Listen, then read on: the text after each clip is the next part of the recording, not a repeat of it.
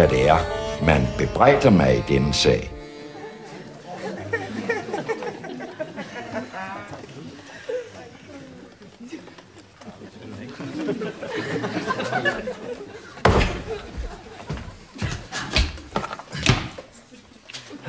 Ja, god aften, mine damer og herrer.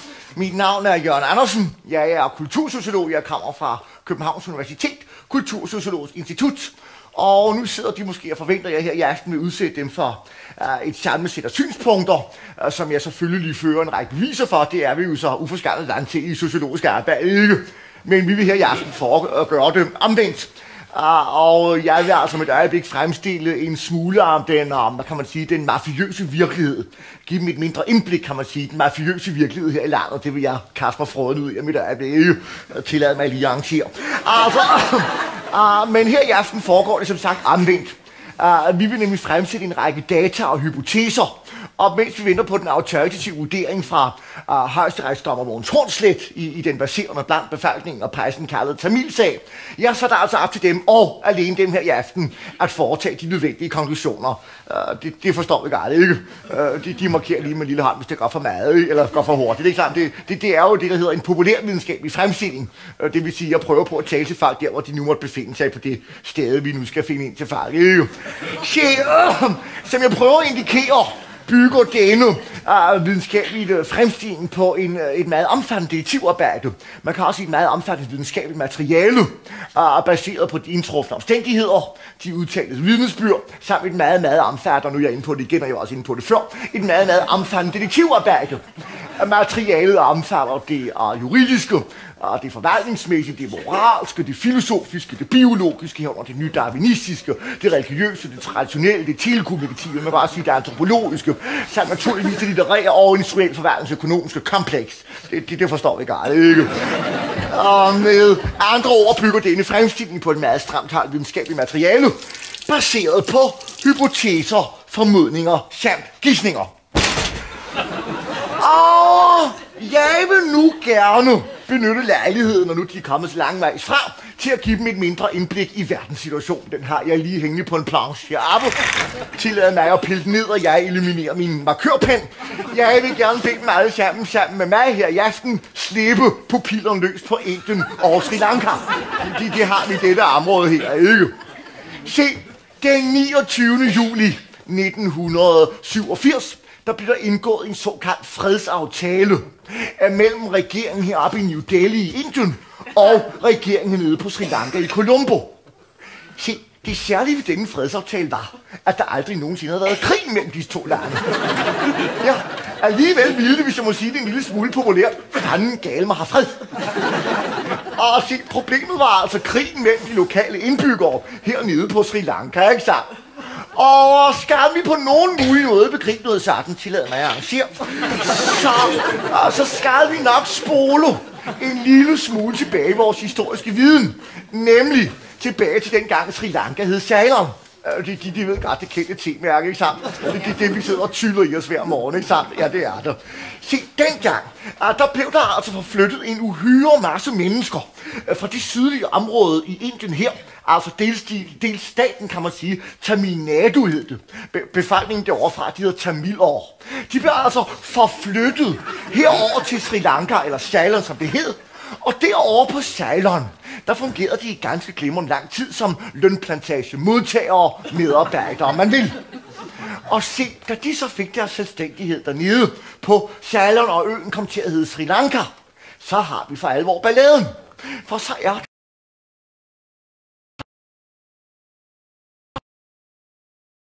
man kan sige fremkæmperne blandt de tamiler, de tamilske tiger. For nu vil de også have deres egen lille selvstændige stat, og det vil de heroppe i det nordlige område. På, kan de godt se noget, fru? Jeg skal lige trække mig tilbage der. Altså, det, det kan de godt, ikke? Se, se, det vil de altså oppe i det nordlige område, der ligger lige heroppe. Og da de så vil have deres selvstændige stat, så har vi for alvor balladen. For det ville regeringen hernede i Colombo ikke finde sig i. Så de begynder altså at aflive og udrydde alt, hvad de kunne få øje på af almindelige tamiler. I håb om også at ramme dem, der måtte sympatisere med de tamilske tiger. Og se, tro det nu hvem som kan. På den anden side, der begyndte regeringen hernede i Colombo at, at udrydde alt, hvad de kunne få øje på almindelige tamilere. I håb om også at ramme dem, der måtte støtte de tamilske tiger. Det var hvis de var inde på før, ikke sant? Men for lige at gøre den tredobbelt svært op, så kan jeg lige sige til dem, at tro det hvem som kan, så begyndte de tamilske tiger at aflive alt, hvad de kunne føre på almindelige tamilere, i håb om også at ramme dem, der måtte sympatisere med regeringen hernede i Colombo. Og, og, og forstår du så, hvem som kan, hvis jeg skal prøve på at samle dette? For nogle af disse almindelige tamiler blev det ganske enkelt for mad.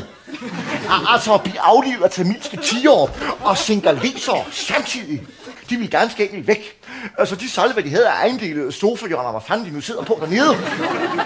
Og så investerede de i en lille bit flyvebillet.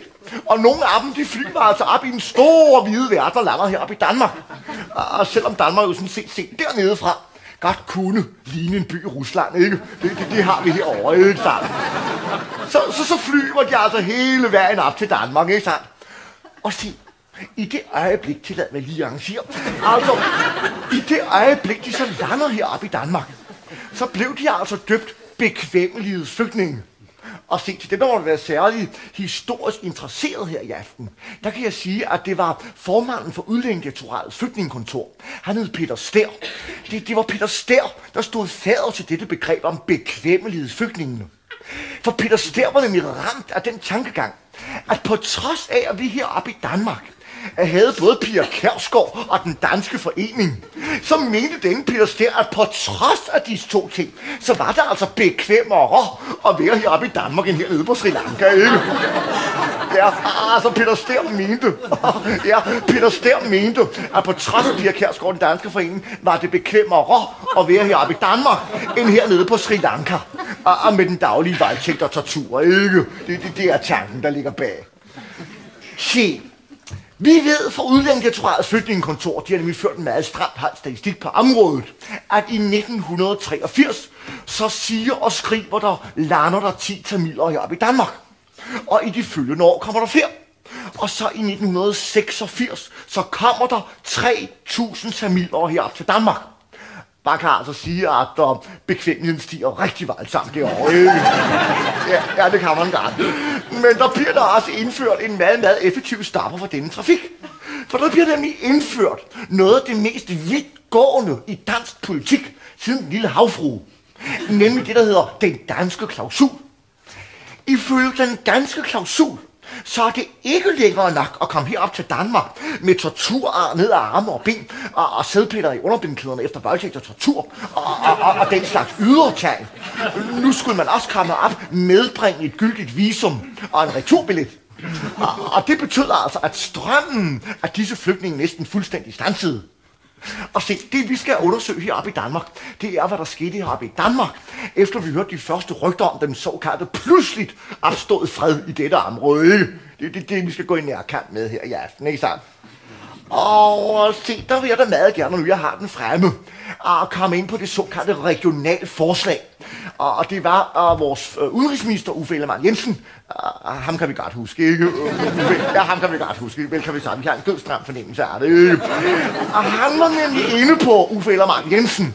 Det såkaldte, det såkaldte regionalforslag over på FN's generalforsamling i New York at de kan se New York, det ligger over det her grå område herovre, i den grå zone. Der var han inde på tanken om regionalt forslag. Tanken var nemlig, at skal folk absolut flygte, og det skal de åbenbart ikke, så lad dem flygte til et område i nærheden af, hvor de selv kommer fra. Hvorfor skal disse tamiler, synes tanken at være? Hvorfor skal disse tamiler eksempelvis flygte hele vejen op på den anden side af jordkloden til vores lille bit land?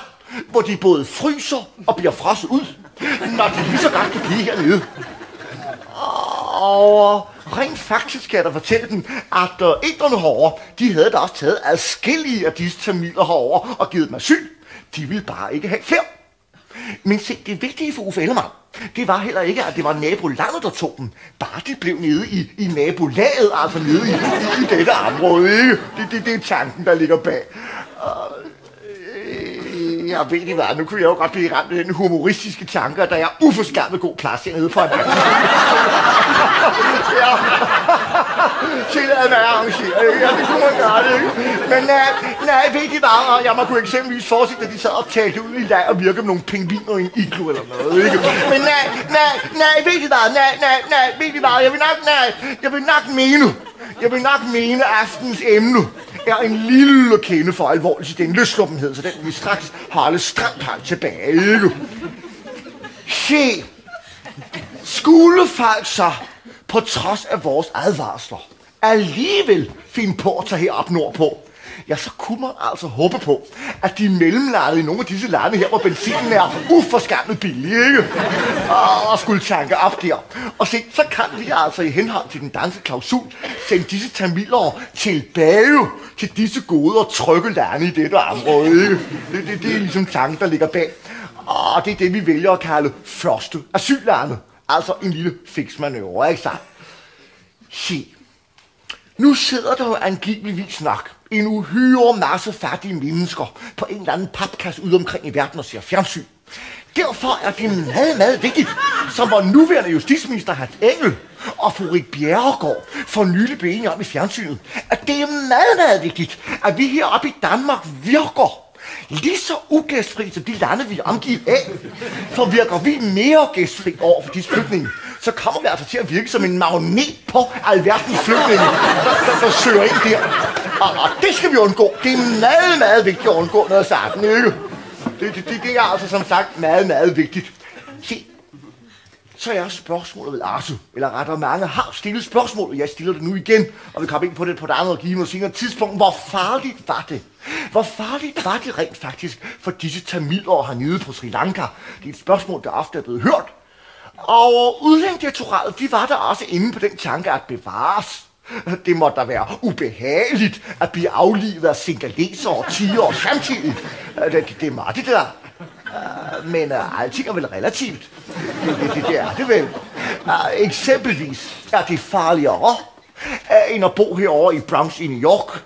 Eller for den sags skyld er det farligere end at færdes ned igennem Istegaden lørdag aften når politiet patruljerer. Det, det, det ved vi ikke. Så godt, så langt. Det er jo altså vigtigt var. Tillad mig. Altså. Vi har ja, der er altså uforskammet varmt hen i lokalet i aften. Det kan jeg godt love, det er så kondensvarmt drypper. det er altså. Vi har nu vendt blikket ud i den store hvide verden. Og vi, det går ikke for hurtigt, vel? De markerer med lille finger, hvis det går for hurtigt. Hellere markere en gang på maden for lidt, ikke? Se, vi har nu vendt blikket ud i den store hvide verden. Vi vil nu vende blikket indad. Og når jeg i aften taler om at vende blikket indad, så tænker jeg tilbage her på Danmark. Og i særdeleshed på Justitsministeriet. Se, ordet justits, det stammer fra det latinske justitia. Det betyder retfærdighed. Men det kommer vi på ingen mulig måde ind på med her Der vil intet som helst belæg blive for at komme mere ind på det.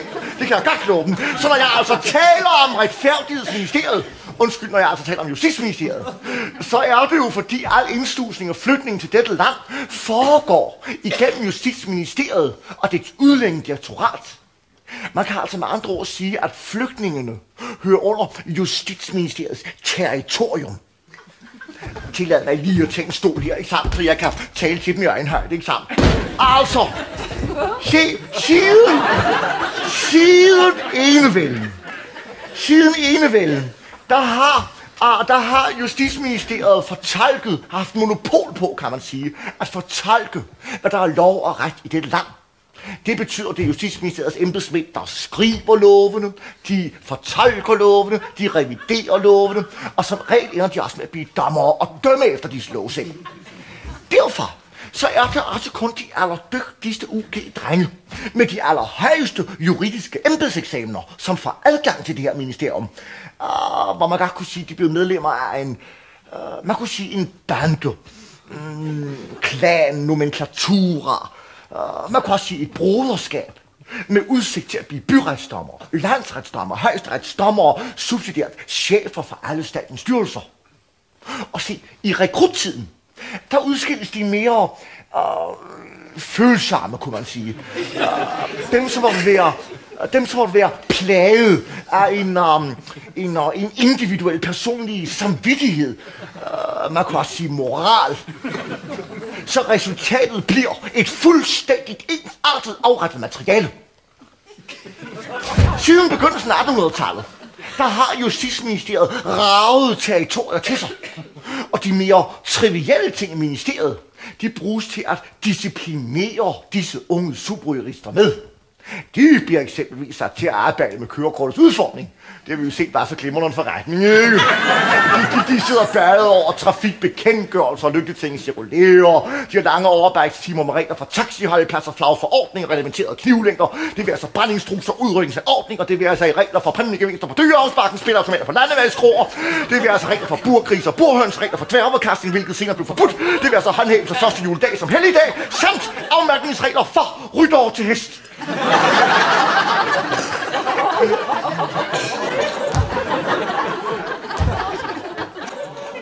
Ja, det er meget muligt. Det er da meget muligt, at de finder dette lattervækkende.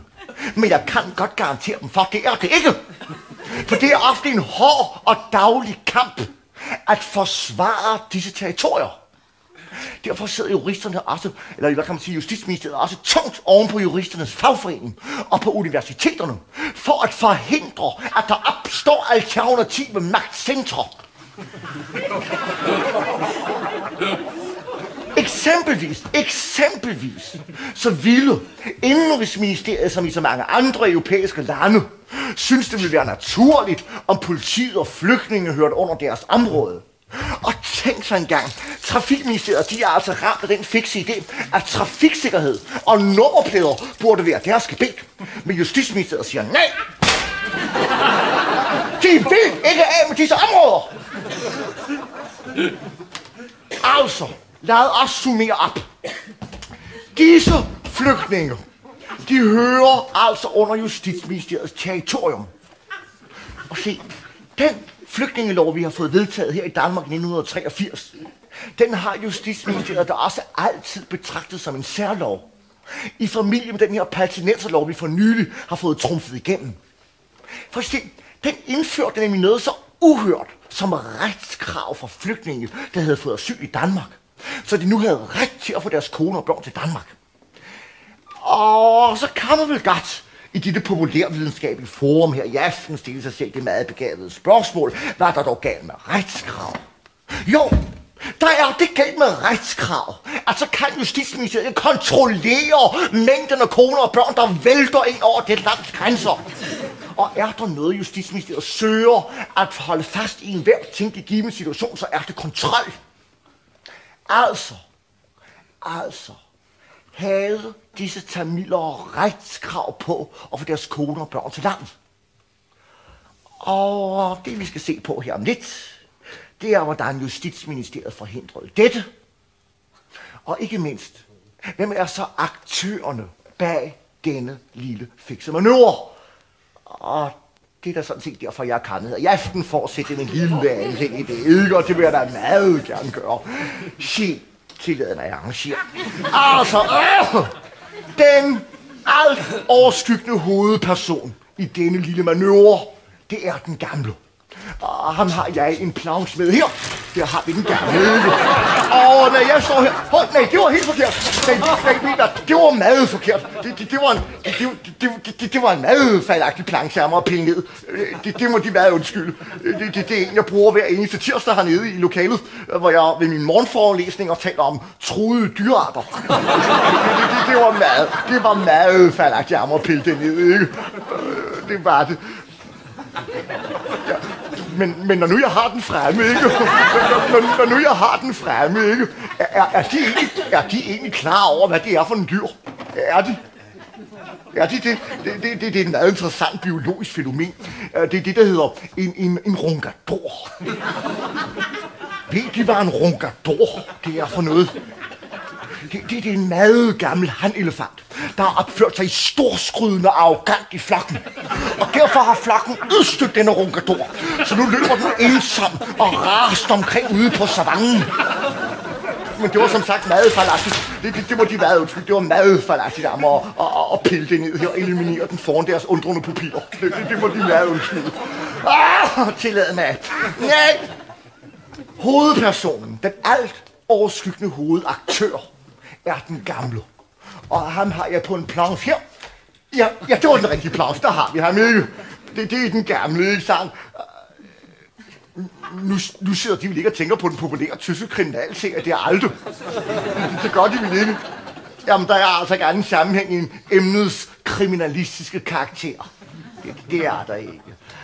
Den gamle er folkestyrets gamle mand. Hyldet og respekteret og frygtet af alle. I alle fald mange. Og som sagt hyldet i aviserne af Ode Rang på Berlingske Tidene. Bent A. Kok og ikke mindst BT hylder ham bader igennem lang tid ad gangen. Og så har den gamle øh, den store fornøjelse at være æresmedlem i KU, de konservative unge. Man kan næsten fornemme det på krabsproget, ikke? Altså, de, de konservative unge, ikke? Prøv en gang at se, altså man mærker det. Jeg synes, man føler de konservative unge, ikke? Jeg synes, man kan se det, ikke så? Og, og ved de hvad? Og ved de hvad? Så har den gamle engang været udnævnt til årets katteven jeg synes, det perspektiverer et eller andet. Ikke? Hver evig eneste lørdag nyder den gamle en bedre frokost med landsretsordfører Mogensen. Kvinderne flokkes omkring den gamle, og så har han skabt statsministeren. Ah! ah ja. Oh, ja. Jeg vil nu gerne fremstille de øvrige fire hovedaktører bag denne lille fikse manøvre, som jeg bragte den ind i før. Disse hovedpersoner har jeg her. Der har vi Mikkel. Og vi har her i aften valgt at give disse fire personer fiktive navne. For at understrege, at enhver lighed med virkeligheden er fuldstændig utilsigtet. Og skulle jeg alligevel sidde og fedte med den tanke, at der kunne være visse overensstemmelser med virkeligheden, så er det fuldstændig tilfældigt. Ikke? Derfor har vi valgt at kalde denne skikkelse herover for embedsmand Torn. Embedsmand Torn, han er afdelingschef i Justitsministeriet. Han er den gamle hafsnå. Manden, der aldrig sætter fingeraftryk på noget. Ah, han er den operative i ministeriet. Manden med de ufattelig mange gode idéer. Han er ekspert i udlændinge. Øh, ja, altså når jeg snakker om ekspert i udlændinge, så tænker jeg ikke på turister. Det, det, det vil være meget faldagtigt, jeg tror noget sådan. Det, det, det er han ikke. Følger de. Følger de, at denne aktor for, for admiralen Admiralen er manden, der aldrig stod til søs, men lod andre stå. Og derfor endte admiralen i øvrigt aldrig nogensinde med kors og stjerner på. For admiralen er ikke længere departementchef i Justitsministeriet. Øh, det er han altså den historie, jeg skal fortælle om lidt, men i dag, der er han blevet forflyttet. Øh, admiralen sidder i dag over på Rigspolitichefens kontor og sutter på Rigspolitichefens uh, frimærker derovre. Admiralen, admiralen, han er en mand, der altid har været optaget af fred. Freden har altid ligget admiralen på sinde. Altså ikke fred nede på Sri Lanka, men, men fred i ministeriet. Det, det, det, det, det er den, jeg mener i den sammenhæng. Andet er meget faldagtigt. Se, følgelig. Har vi valgt at kalde denne skikkelse herover for herr Beimann. Herr Beimann, herr Beimann, han er, han er kontorchef i Justitsministeriet. Og, og som sådan står han i rang og stand under disse herrer her. Men i kraft af herr Beimanns frisprog i ministeriet, så fører han altså sig selv frem blandt høj og læb Øh, og han deler jo ud til til fulde den gamles foragt for politikere og presse. Endelig er der den mand, der allerførst blev snydt, så det EU dræber den snydt. Og det er øh, øh, chefen for udlændingedirektoratet, ham har vi så følge den tanke valgt at kalde herr Snydt. Her herr Snydt har altid ligget i et evigt opgør mellem loyaliteten over for sig selv og loyaliteten over for det system, han har sat til at vagte. Ikke? Så Salam. Se, skulle de nu, på trods af, at jeg gør en uhyre stor indsats ud af at plante den tankegang i deres indre sind, at vi her opererer med fiktive størrelser. Skulle de, hov, der var mig kørpenge ved at ryge udvalg, skulle de på trods af dette sidde og blive ramt af en tanke, at der kunne være visse overensstemmelser med nuværende levende personer, eksempelvis ansatte personer i Justitsministeriet, således at de måtte være plaget af den tanke, at eksempelvis embedsmand Thorn kunne være afdelingschef i Justitsministeriet, Claus Tornø. Altså afdelingschef i Justitsministeriet, Claus Tornø. Og kvæg denne tanke om deres lille indre sind og optaget den tanke, at admiralen kunne være nu afgået departementchef i Justitsministeriet, Paul Lundbæk Andersen, Paul Lundbæk Andersen. Og hvis de sidder, og hvis de sidder og føler et uforskammet stort behov for at bladre rundt i, i rimorbogen og slappe under bagmand og få øje på, at det rimer på kontorchef i Justitsministeriet, Johan Reimann, altså Johan Reimann. Og når nu de har rimorbogen fremme og slappe under embedsmand Snyt, så rimer det på Frederik Schyt, chef for udlændingedirektoratet Frederik Schyt. Ja, så må jeg sige, så må jeg sige, at skulle de være plaget af en sådan tanke, så kan jeg sige, at denne tanke hviler på et uhyre faldagtigt grundlag. Og den hviler meget tungt. De må ikke forlange, at jeg skal stå heroppe på dette sceneaggregat og svine personer til med navns nævnelse. Subsidiært beskylde disse personer i vores statsapparat, så højt placerede personer, og beskylde dem øh, for magtfordrejning, vildledelse af Folketinget, kriminalistisk virksomhed i karrierens hellige navn. Det må de ikke forlange. Det vil det ville i værst tænkelig givende fald betyde, at jeg ville gøre mig selv til genstandsfelt for et meget ydmygende jurysøgsmål, hvilket kunne føre frem til et længerevarende arrestophold, hvor jeg kunne sidde og sysselsætte mig selv, sysselsætte mig selv med papirslejt i enerverende mængder, og e- e- e- eksempelvis julestjernflætning af dette materiale. Det, det vil jeg meget gerne undgå. Derfor har vi her i aften valgt at give disse fire fiktive personer fire fiktive navne. Så godt, så langt Se, Vi sætter lige disse her op i personalkantinen. Sådan. Og der er nok noget, den gamle lige skal mene noget om her i nær fremtid, ikke sandt? Sådan her. Op med dem. Altså, øh, tillad mig lige at arrangere. Se, vi har indtil nu udelukkende beskæftiget os med almindeligt funderede videnskabelige kendskærninger. Nu vil vi i arbejde os over i hypotesernes verden. Og jeg vil gerne fremsætte en hypotese om, hvordan planen om at hindre tamilerne i at få deres koner og børn til Danmark, hvordan den blev til. Det vil jeg da meget gerne fremsætte en hypotese om, og den vil jeg lige gå over og pille op af mit videnskabelige møbel. Ikke? Den har jeg lige her. Altså, her har jeg hypotesen. Ikke? Se, ah, tillad mig lige at tage plads. Altså, ifølge denne hypotese, så går embedsmand Thor. De kan, huske, de, kan, de kan da godt huske embedsmand Thor, ikke? Så nu lige der, jeg tillade mig lige at pille ned. Den er altså gået op i loftregionen der. Ja, sådan her. Det var mit audiovisuelle virkemiddel, der faldt fast i loftregionen. Tillad mig lige her. Og ah, ja, de kan godt huske embedsmand Thorn, ikke sandt? Ham kan vi godt huske, ikke sandt? Det, det er manden med alle de uforskærmende gode idéer derovre, ikke? Og, og så den gamle. Ham har vi her.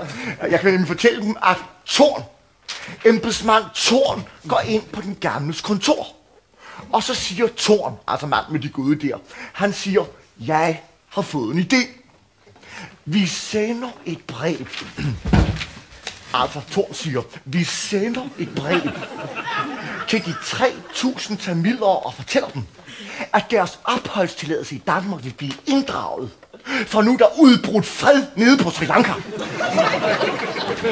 er, er, er du fuldstændig vanvittig, siger den gamle. Er, der er jo ikke fred på Sri Lanka. Det, det, de vil jo vælte ind i ministeriet med klager, og, og det vil jo tage flere år at behandle disse klager. Uh, ja. ja. Ja, siger embedsmand Thorn. Det, det er det, der er pointen. Det vil tage flere år. Men lovgivningen siger jo, at man skal være fastboende i Danmark for at få sin kone og børn til Danmark. Og man er jo ikke fastboende i Danmark, hvis man er lige ved at blive smidt ud. Så pludselig har disse, uh, disse tamiler ikke længere noget retskrav på uh, at få deres kone og børn til Danmark. Oh.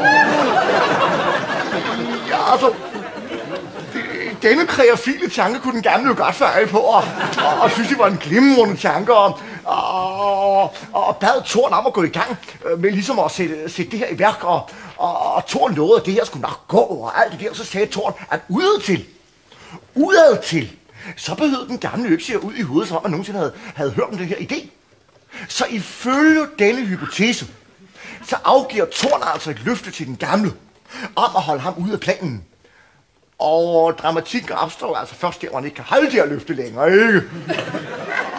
Og det skal vi da snakke alt sammen komme tilbage til. Det skal jeg nok love ikke? Alligevel, alligevel, så spørger den gamle, hvem skal så bære ansvaret, hvis det hele går galt? Øh, ja, men siger Thorn, ja, vi kan ikke blive knaldet. Det, det, det, det er snydt, der kan blive knaldet. Det, det, det, det er snydt, der hænger på den. For snydt er jo ansvarlig som chef for udlændingedirektoratet, ikke? Åh. Det beroligede sådan set den gamle, ikke? Det, det, det, det gav sådan den gamle en ro i sjælen, ikke sandt? Det gjorde det, men altså, der er, der er ikke noget af det, jeg står og siger her, vi kan bevise. Jeg mener, vi stod jo ikke inde på kontoret hos den gamle, da dette lille ordreplikskifte skete. Derfor mener jeg, ud fra et stramt højvidenskabeligt stade, må vi betragte denne hypotese som et luftkastel. Tillad mig lige at sende den tilbage til kantinen. Og øh, derfor mener jeg, ud fra dette højvidenskabelige stade, vi vil se bort for en sådan tankegang, ikke? Derfor kører vi lige igennem her, ikke sant? Vi skal endelig have nogle papirer hængende i luften, der kan bruges imod os. Det har vi lært, ikke? Det, det, det tror jeg nok. Tillad mig lige at sende den gamle helt op der, ikke sant? For der er der. Godt. Ja, nu kan jeg godt se, at de sidder forundret og kigger på dette her apparat. Er de klar over, hvad det hedder, fru? Sådan et apparat? Tillad mig lige at arrangere. Er de klar over det? Det, det, det, det hedder en makulator. Øh, det er sådan en, som den amerikanske ambassade i Teheran havde kørende i døgndrift lige efter Sjæls fald.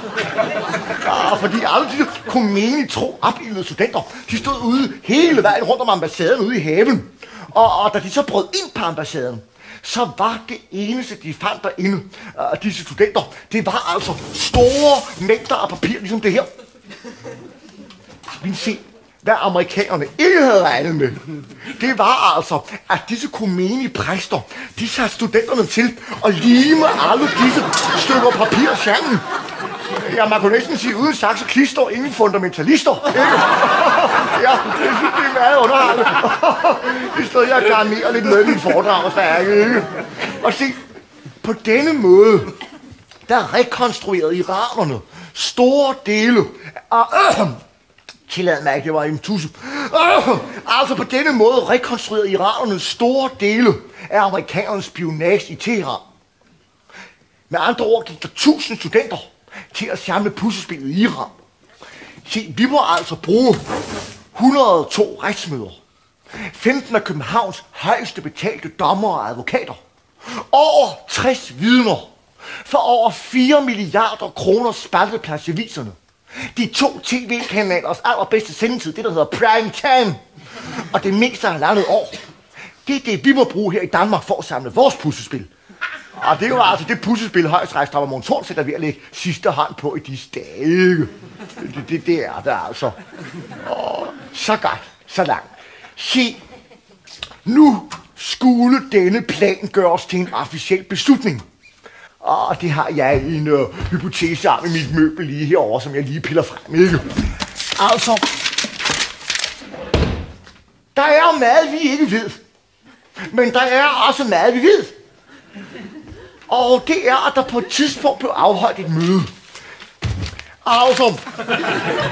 på et tidspunkt blev der afholdt et møde mellem boligminister Kofod Svendsen, undervisningsminister Bertel Hårder og den gamle. Og vi ved også på baggrund af et meget omfattende detektivarbejde, at det var embedsmand Torn, som førte ordet. Og først da at Kofod Svendsen var gået, ja, fordi han troede, mødet var forbi, hvilket ikke af de andre tilstedeværende på nogen mulig måde forhindrede Kofod Svendsen, jeg tror. Ja, så kom den konkrete plan på bordet om at hjemsende de 3.000 tamilår til Sri Lanka. Og, og som Thorn forklarede, så ville en konsekvens blive, at familiesammenføringssagerne ville blive lagt på is. Og det kunne Bertel Hård jo rigtig godt lide. Det passede lige ind i Bertel Hårders lille verden, ikke sandt? Det, det, det gjorde det.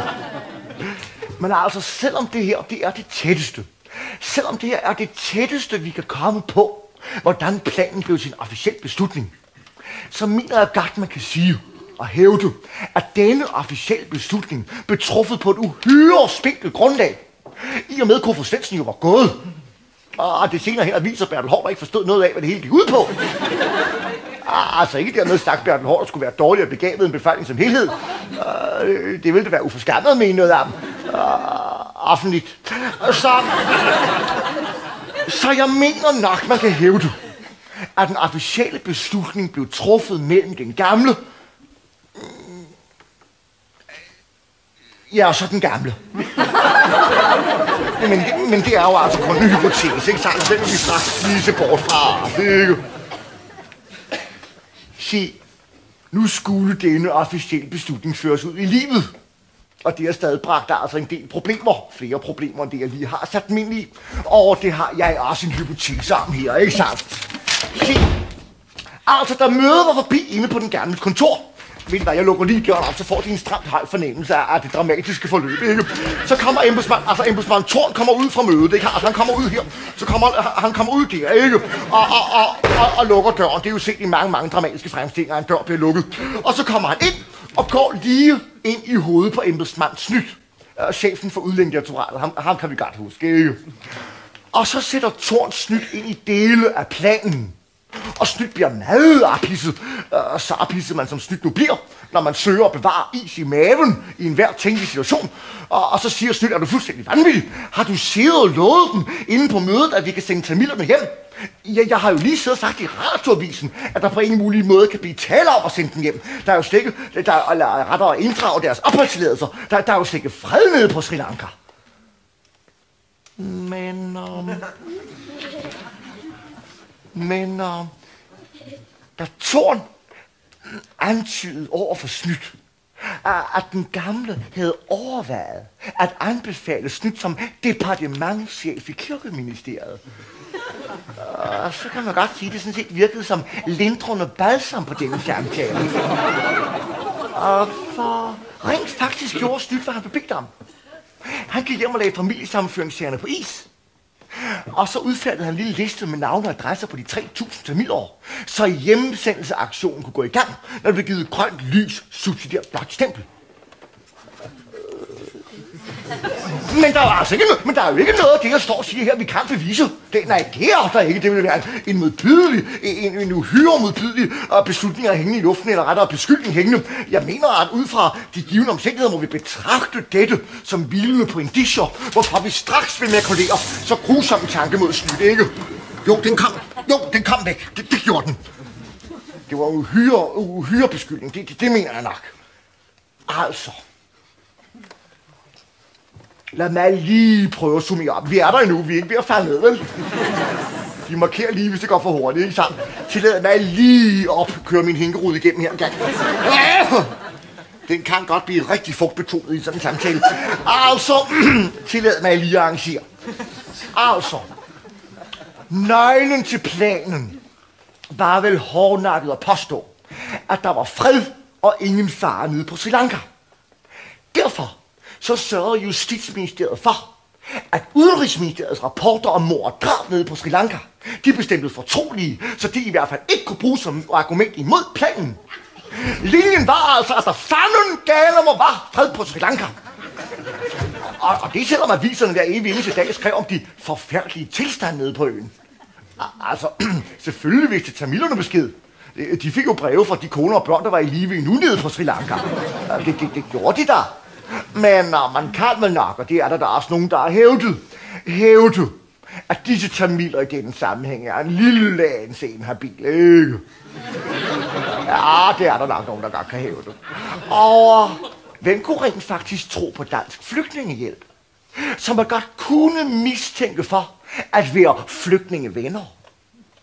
Og Dansk Flygtningehjælp, de sagde da også bare, nu må vi vente og se, hvordan det hele udvikler sig dernede på Sri Lanka. Ja, Vente, det var kodeordet. For at sige direkte nej til disse tamiler. Det ville være lodret ulovligt. Men at lade være med at svare dem, det var det, man gjorde. Man svarede dem overhovedet ikke. For planen tjente kun et formål. Nemlig at hindre tamilerne i at få deres koner og børn til Danmark. De skulle alligevel sendes hjem, synes logikken at være, ikke? Men se, selvom der altså er en uhyre masse, en uhyre masse faktisk i det, jeg står og siger her, så mener jeg altså nok, at vi må betragte det som en hypotese. Det, det, det mener jeg nok, en hypotese og en gidsning. Vi skal ingen ikke noget hængende i luften. Se, tillad mig nu engang at illustrere for dem, hvad hele den her sag om disse tamiler i og for sig går ud på. Og til det formål vil jeg gerne låne tre vilkårligt valgte personer. Hvad med fruen i sammenplantningen, måske lige kunne hjælpe bagfru og gøre på sikkerhed. Og den her i folkedragten nede, og, og den unge mand, der står her med den der øh, tunede støttepermanent. Tak skal de have. Hvis I lige gør på senere, det gælder jeg altid glad for frivillige. Tak skal de have. Hvis de lige står der, der er i blik, så skal de bare se. Jeg vil nu gerne have, at de hjælper mig herude i aften, mine damer og herrer, med at se på disse yngre mennesker, hvor nogle af dem er blevet en anelse ældre, og betragte dem som arbejdskraftressourcer i udlændingedirektoratets flygtningekontor. Uh, det betyder altså, at de arbejder i Justitsministeriet, det forstår vi godt, ikke? Og tillad mig lige at pille disse ting frem her. Altså, her har jeg 150 familiesammenføringssager. Og jeg vil nu give fruen her i folkedragten den første samling af 50 der. Og nå nej, det var sammenplanning. Undskyld, og den unge mand, disse 50 familiesammenføringssager der. Og den unge mand der. Godt. Se, nu har jeg givet disse tre arbejdskraftressourcer hver 50 familiesammenføringssager. Tilsammen har de altså 150, det har vi fanget, ikke? Og jeg kan fortælle dem, at en familiesammenføringssag tager en time at bearbejde. Hvor lang tid vil disse tre arbejdskraftressourcer være at bearbejde disse 150 sager, jeg har tid til at vente? Vi lige se, om vi kan svare på det? Jeg siger den unge mand derovre med hår på overlæben. 50 timer. 50, det er helt korrekt. Jeg synes, det går uforskammet hurtigt i aften. Hal- 50 timer, det er helt korrekt. Se, se. Nu gør vi spørgsmålet en lille smule sværere. Der er nu afsat 10 timer per uge per medarbejder til at løse denne arbejdsopgave i ministeriet. Underforstået, der er også andet ministeriet kaster sig over. Hvad ved vi ikke? Men i hvert fald 10 timer per uge per medarbejder. En sag tager stadigvæk en time. Hvor mange uger vil disse tre arbejdskraftressourcer være om at løse denne opgave? Skal vi se en lille hånd? Ja. Sig noget, om mand. Fem, det er helt korrekt. Det går meget hurtigt. Fem, det er min bedre hold her i aften. Fem, det er rigtigt. Fem uger tager det. Og nu er deres opholdstilladelse inddraget, for de må gerne gå tilbage til deres lille stol. Og jeg vil nu fordele. Skal vi give fruen en lille hånd? Det synes jeg, der vi skal herovre. Tak skal I have, fru. Tillad mig her. Tak skal I have. Ja, det var den første embedsmand. Ja, det er jeg ked af, det hedder det, fru. Og jeg vil nu fordele resten af disse sager med 25 til den her her, og 25 til den her der. Og spørgsmålet er nu, hvor lang tid vil det tage disse to ensomme udøvende embedsmænd om at udføre denne opgave nu? En sag tager en time, 10 timer per uge. Hvor lang tid vil det nu tage, i og med, der er sket en smule rationalisering, kan vi vælge at kalde det, ikke? Skal vi prøve nogen mand igen med den blynfaldet hinkerud over? Kan vi regne lidt på den? Der stod vi ja. Er der andre, der har et bud på, hvor mange uger det nu vil tage? De har 75 sager hver.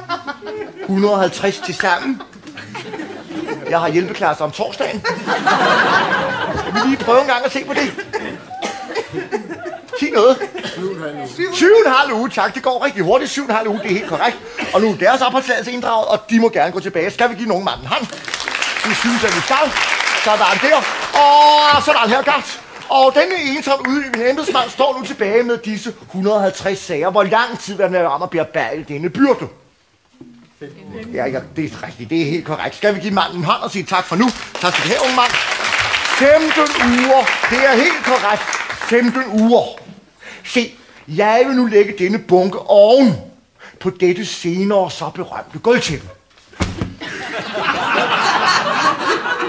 Ja, vi lægger dem altså ovenpå i dag, bare for variationens skyld, ikke? Det, det gør vi da.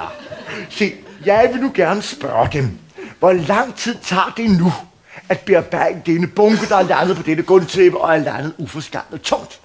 Hvor lang tid vil det nu tage at bearbejde denne bunke?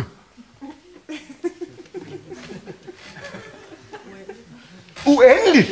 Hvilket meget fugtigt lige frem til bolden med det samme. Hvilket meget havde der siddet et, og, et dommerpanel hele vejen herover og skyllet dansvand i stedet for ikke at fremstå som alkoholiker udadtil, så ville de have sagt, uendeligt blive accepteret. Det er helt korrekt, fru, uendeligt. Se, nu kommer det aller sidste spørgsmål. Nu kommer det aller sidste spørgsmål.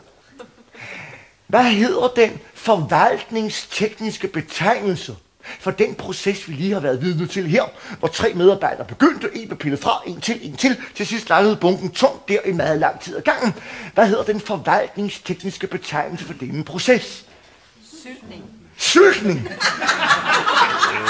Ja, det er lidt mere vulgær boulevardpresseudtryk, man kan sige. Kan vi prøve at rode lidt videre? Syltning. med byråkrati. Henlæggelse, ja, det tror jeg nok, vi godt kan kalde det, uden at at have gået for langt. Ja. Skal jeg begynde at være lidt mere pædagogisk demonstrativ, eller skal vi prøve at lege lidt mere med vokabulatoriet? Byråkrati. Hvad var Byråkrati. Byråkrati, ja, det er der nok ikke nogen, der vil, gå, der vil kunne argumentere hårdt imod i eget fald. Nå, jeg hjælper med en lille anelse på hver ikke. Vi har nu prioriteret således, at vi har lagt denne bunke ned på dette gulvtæppe. Nedprioritering, det er helt korrekt. Skal vi give nogen mange der over har? Tak skal I have. Tak skal I have, unge. Det var den i år. Tak skal I have. Tak. Skal I have. Tak. Ah, ja, ah, det er helt korrekt. Ned, nedprioritering. Tak skal I have. Det er helt korrekt. Se, nu sidder de muligvis og tænker ved dem selv, hvad har denne halvklasse arbejdsdemonstration dog med aftens ende at gøre? Jo, mine damer og herrer, den skal illustrere, hvad noget af det mest udspekulerede i denne her uh, tamilsag overhovedet går ud på. Nu skal de bare se her. Jeg vil gerne bede dem læse sammen med mig. Modelnotater af 2. i 12. 1987. Afsnit 2, stykke 2. Det kunne overvejes at foretage en nøjere ressourcestyring i direktoratet for udlændinge, således at der faktisk behandles et bestemt antal familiesammenføringssager om året. En sådan styring vil kunne virke som en faktisk kvote for, hvor mange tilladelser der gives om året. Ændringen vil kunne gennemføres administrativt. Vi lader den stå et øjeblik.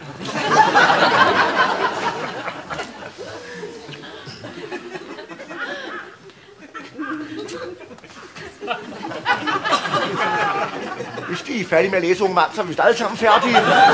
Altså,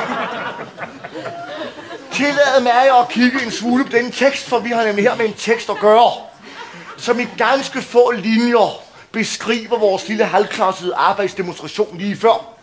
Der står nemlig her, man kunne gøre dit, hvilket kunne virke som dat. Altså, grammatikalsk står vi over for det, der hedder en konjunktiv. En ønskemåde.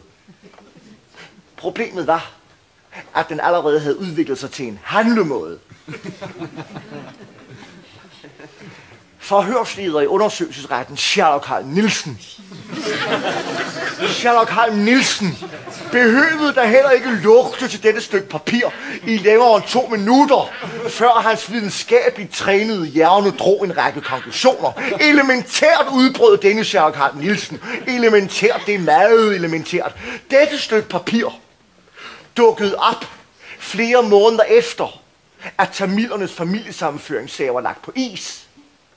Det blev de nemlig allerede i september, mens dette stykke papir stammer fra december. Så i en vis forstand er denne tekst et lodret svindelnummer. For dette fromme ønske, der er angivet her, det var allerede gået i opfyldelse. Skal vi oversætte den tekst til et lidt mere terrængående dansk? Så står der nemlig her, vi fryser sagerne ned, så undgår vi flere fejlfarver, og bagefter så siger vi, at det var bare for at spare i ministeriet. Se, den lille tekst plus de hypoteser, jeg har sluppet løs her i aften indtil nu, dem vil jeg gerne have, at de går ud i nogle små summegrupper og går igennem.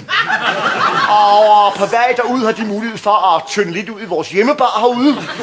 Og vi mødes her i plenum igen om 20 minutter. De kan bare kaste dem ud i atriumgården herude. Og jeg vil i mellemtiden gå ud som et lys.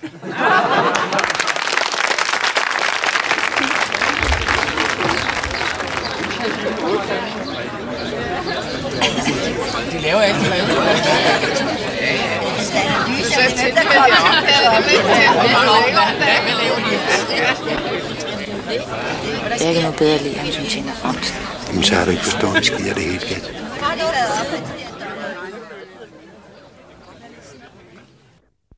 Faktisk aner jeg ikke, hvad det er, man bebrejder mig i denne sag.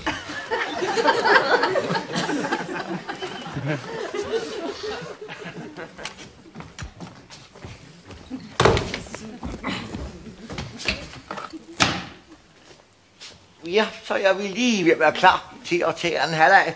Og jeg har gået og luret lidt ud omkring sumgrupperne.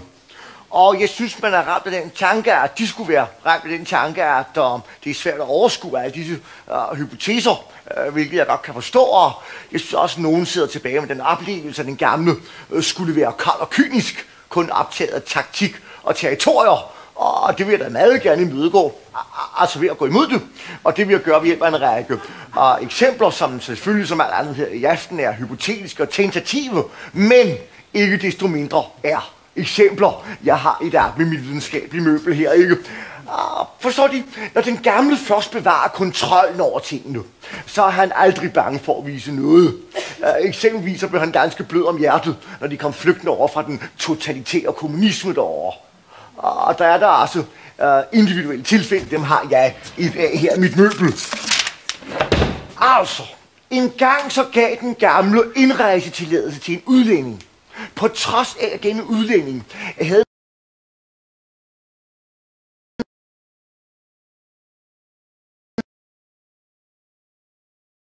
loven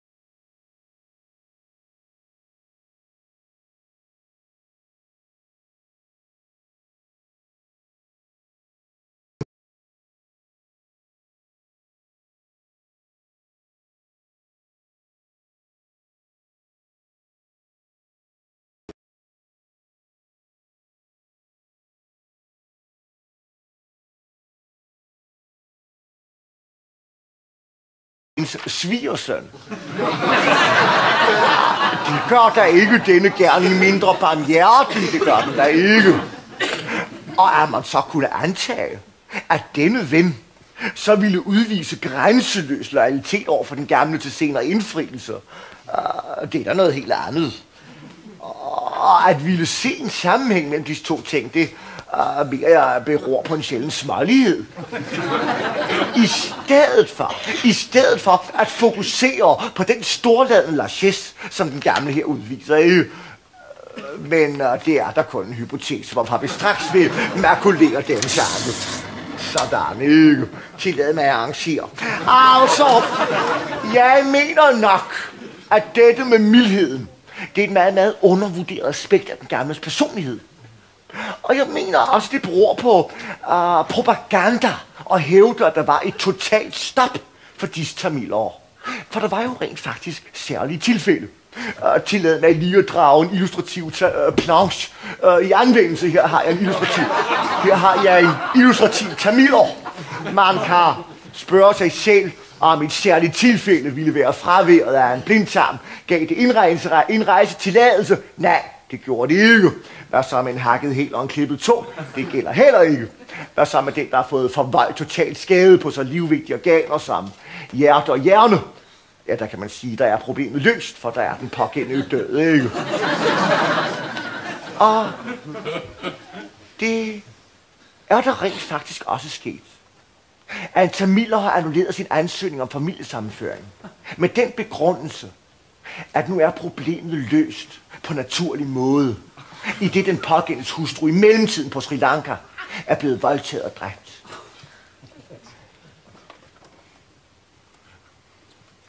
Den vanskelige afvejning, kan man sige, finder sig sted mellem den, hvorpå der er forvoldt total skade på så livvigtige organer, som pågældende derfor kunne komme til at lægge det danske invalide pensionssystem til last altså den, der eksempelvis blot har mistet et øje. Det er her, man kan sætte ind med mildheden. Se, nu må vi da heller ikke falde i den anden grøft og tro, den gamle skulle være grødelabil. Grænse til at være en sentimental og en blød mand. Det ville da være meget fejlagtigt at tro noget sådan.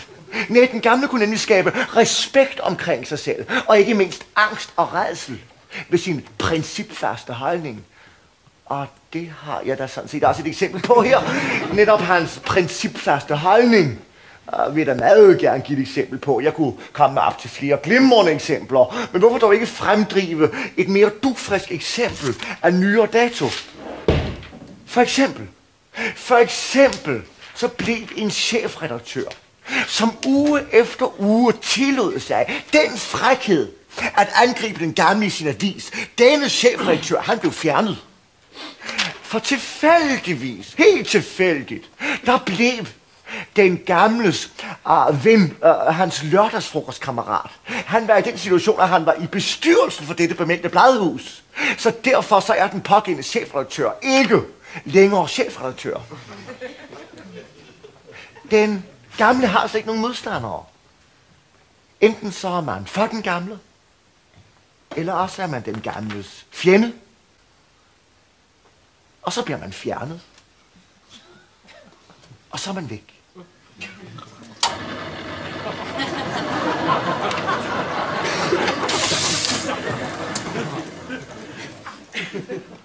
Efter de således har fået et meget mere nuanceret billede af den gamles personlighed og karakter, så vil de da også meget bedre være i stand til at forstå det følgende hændelsesforløb. For netop hans principfasthed kom til at skabe problemer.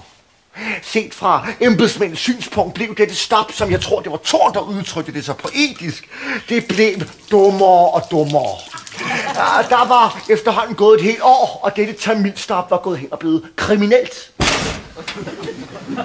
Og vi ved, vi ved fra tre vidner, at embedsmand Beimann den 13. juli 1988 gik ind på den gamles kontor. Og det har jeg en hypotese om her. For netop inde på den gamles kontor, der fremdrev og Beimann, embedsmand Beimann, to eksempler, to ting sagde han til den gamle. Det har vi altså tre vidner på, at vi så Beimann gå derind. Og derinde sagde Beimann som sagt to ting til den gamle. Han sagde, vi kan ikke længere over for omverdenen blive ved med at påstå, at vi på grund af ressourcemangel ikke er i stand til at færdigekspedere disse familiesammenføringssager. For der ligger allerede 50 færdigbehandlede sager, hvilket kun mangler en underskrift. Og det kan jo ikke tage mange minutter. Bagman sagde også til den gamle, at vi kan ikke længere blive ved med at chikanere de tamiler, der har haft asyl i Danmark i over to år. For ifølge lovgivningen har de ret til at blive i Danmark, uanset om der er fred eller krig i det land, de kommer fra. Med andre ord var det den 13. juli 1988 skåret ud i pap for den gamle, at planen var ved at falde på gulvet. Og se, det var embedsmand Beimann, der gik ind og fortalte til den gamle.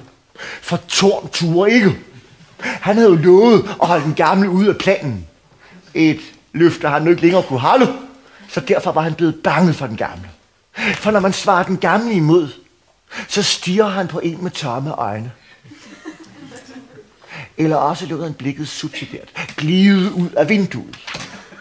Men på trods af, men på trods af, at disse tre vidner altså så Bergman gå ind på den gamle kontor den 13. juni 1988, så hævder den gamle, at han den 13. juni 1988 var i sit sommerhus i Hornbæk hele dagen, og derfor ikke hørte, hvad Bergman fortalte ham. Så derfor så derfor må vi da betragte den som en hypotese. Det vil da være videnskabeligt korrekt.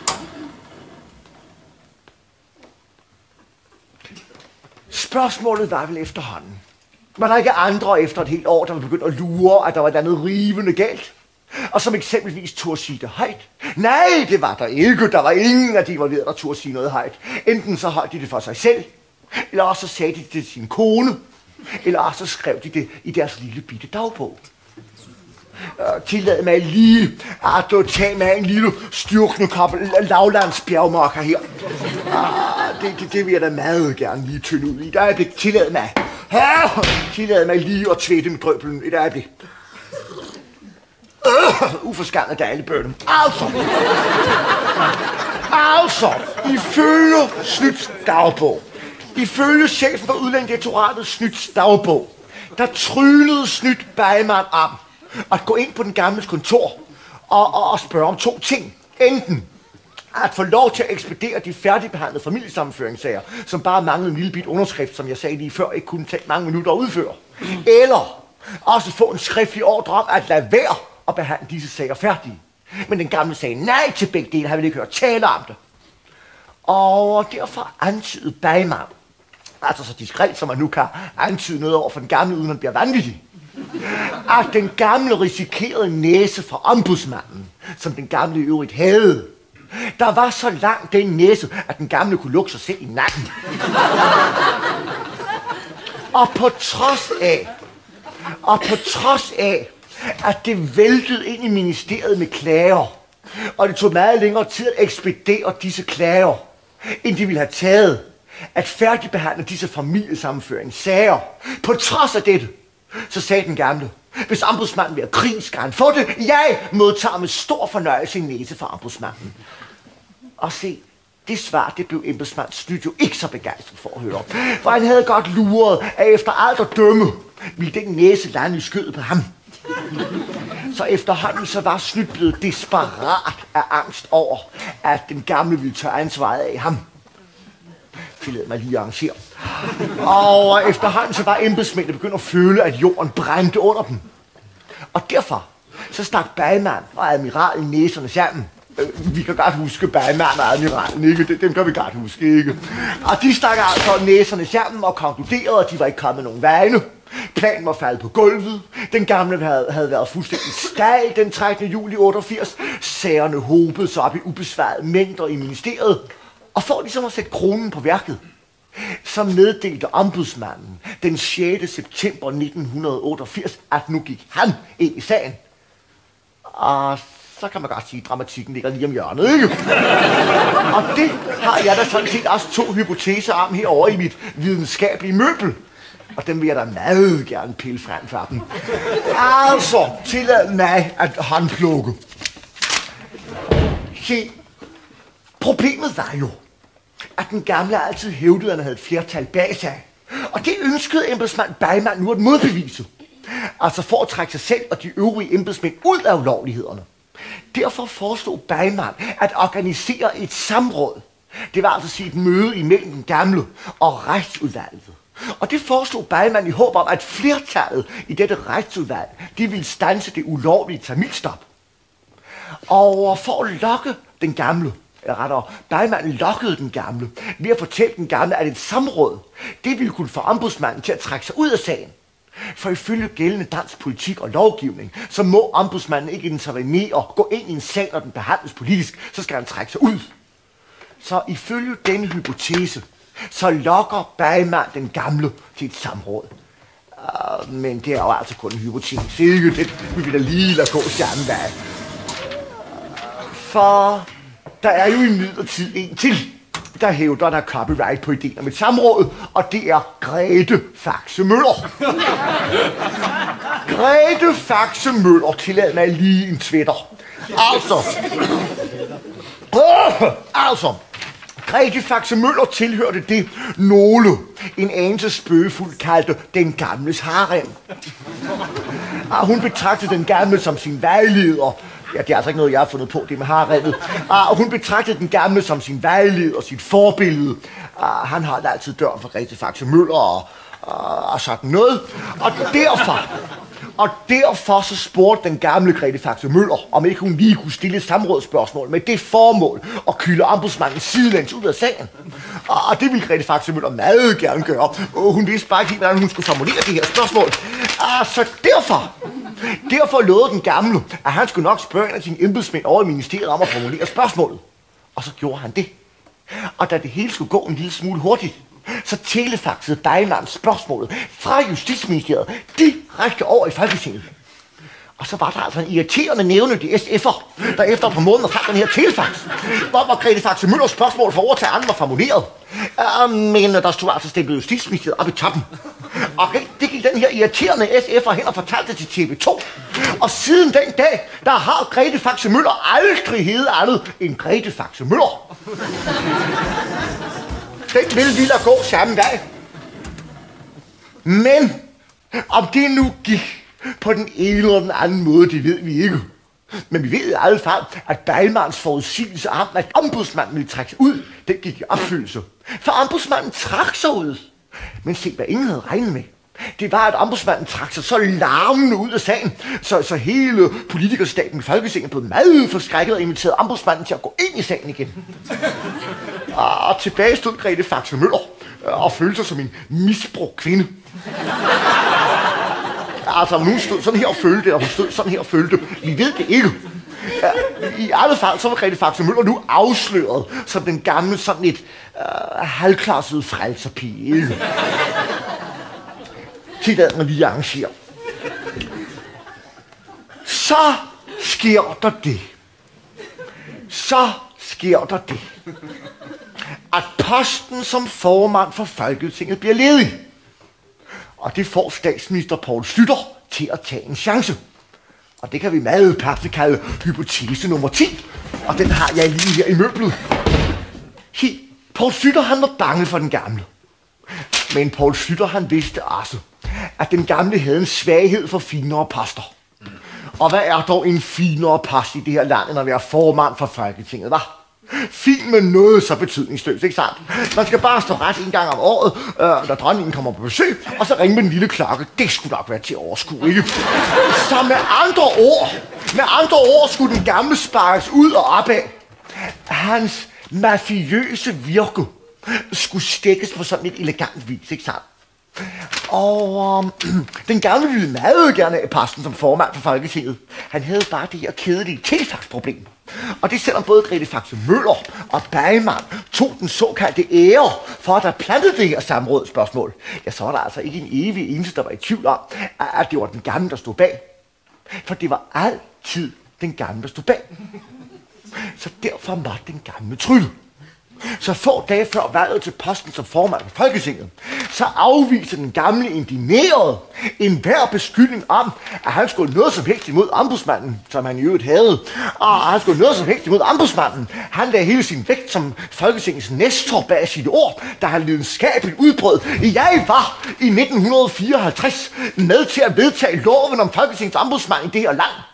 Jeg har altid, og jeg vil fortsat altid, nære den største respekt for ambudsmandsinstitutionen. Øh, der var altså hverken et øje eller sædetøj efter den her tale. Øh, det, det, det var virkelig noget af en præstation. Og, og det på trods af, og det kan vi kalde hypotese nummer 10, og det på trods af, at den tale fra ende til anden var lodret løgn.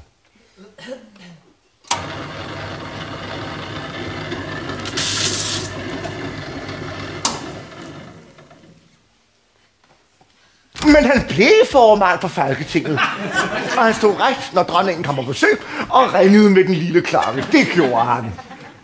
Jeg mener nu nok, at tiden er inde til at afrunde denne videnskabelige fremstilling. Spørgsmålet her i aften har der også hele tiden været, var det lovligt, eller var det ulovligt, at lade tamilerne vente i op til 16 måneder på det, de har et retskrav på, nemlig at få deres kone og børn til Danmark. Som I så lige før, så foregik der en nedprioritering, der gik ud på at lægge alle familiesammenføringsserier en stor bunke på dette senere så berømte gulvtæppe, og lade dem ligge der i uforskammet lang tid. Kunne det være lovligt? Ombudsmanden har opstillet to betingelser for, at en forsinkelse kan være lovlig. Ombudsmanden han siger, Betingelse 1 for en lovlighed er, at forsinkelsen må ikke vare urimeligt længe. Betingelse 2. Forsinkelsen skal begrundes korrekt og savligt. Så går ombudsmanden hen og kigger på alle de undskyldninger, Justitsministeriet deres ufattelige idérigdom kunne hitte på, og de når frem til følgende. Undskyldning 1. De manglede ressourcer i udlændingatoratet. Undskyldning 2. Der var fred på Sri Lanka. Så går ombudsmanden altså hjem og bruger 20 tætskrevne sider på at vurdere disse undskyldninger. Og når frem til følgende. Undskyldningerne duer ikke. For de manglede ikke ressourcer i udlændingetorets flygtningekontor. For alle sagerne var færdigbehandlet og manglede bare en lille bit underskrift, hvilket ikke kunne tage ret mange minutter. Og der var ikke fred på Sri Lanka. Da der således ikke er gode grunde, subsidiært gode undskyldninger for disse forsinkelser, så kan man godt her i aften stille det lidt snedige spørgsmål. Om hele manøvren i virkeligheden tjente et helt andet formål. Nemlig at tvinge tamilerne til at rejse tilbage til Sri Lanka, hvis de nogensinde ville se deres kone og børn igen.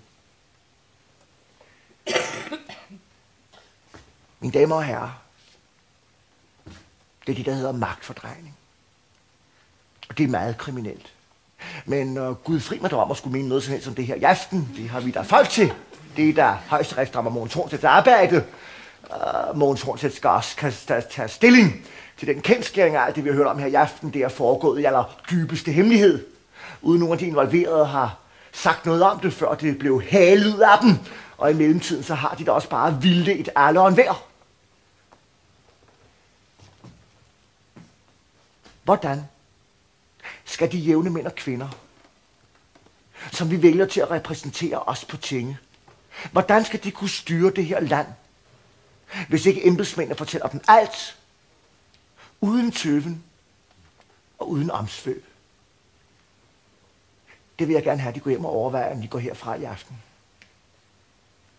Og så vil jeg gerne bede dem hjælpe mig med at vurdere, om alt det, vi har hørt om her i aften, det var lovligt eller ulovligt.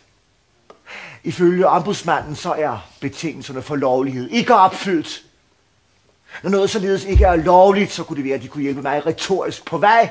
Når noget ikke er lovligt, hvad er det så? Hvad siger de? Ulovligt. Vi kan altså konkludere. Stoppet for tamilernes familiesammenføringer, var? Jeg vil gerne have, at de siger det sammen med mig i kor. Stoppet for tamilernes familiesammenføringer, var? Ulovligt. Jamen, det er da helt fantastisk, mine damer og herrer. Nu er jeg da også godt klar over, at vi her i aften har med et ganske begavet publikum at gøre. Alligevel, alligevel er det ikke alle og enhver beskåret at foretage dette resonemang. Oven i købet er der højt uddannede mennesker i dette samfund, som ikke har været i stand til at forstå dette. Mine damer og herrer, jeg vil gerne bede dem tage godt imod disse personer i vort land, som ikke har været i stand til at begribe, at dette har været ulovligt. Jeg vil gerne bede dem tage rigtig godt imod. Overlæge Dr. Med, Kirsten Lige. Jeg vil gerne bede dem tage godt imod forhåndværende formand for retsudvalget, Kant Jur, Grete Faxe Møller, Kant Polit, undskyld, Kant Filærte, forhåndværende ordfører for det konservative Folkeparti, Viggo Fischer, hvis I rendringer lige er udkommet på frimærket. Kant Skjern Pol, undervisningsminister Bertel Hårder, Kant Polit, udenrigsminister Uffe Ellemann Jensen, formand for Folketinget, professor i historie, H.P. Clausen, samt Kant Jur, den endnu på posten siddende, statsminister Paul Slytter. Skal vi ønske dem god bedring og give dem en hånd, mine damer og herrer.